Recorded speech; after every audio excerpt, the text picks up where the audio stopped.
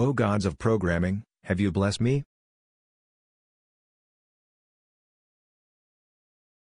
Remove the in the first and the in the last line of your code. Wait people actually just write hundreds of lines of code without running it hundreds of times beforehand? Then you realize that you forgot merge and is not your code working. Yes, but have you prayed to the runtime error gods? That's easy.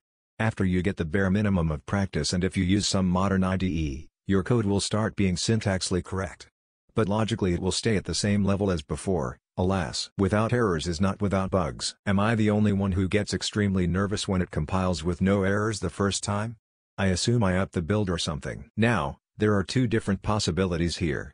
You interact with your program once and everything sets itself on fire or it runs perfectly fine and the mystery continues. Branching from that second path specifically however, now you have to wonder if it really is perfect. You'll spend hours searching for errors that may or may not exist, checking math on example calculations and inserting flags for yourself to make sure it's doing everything correctly. Such is the way.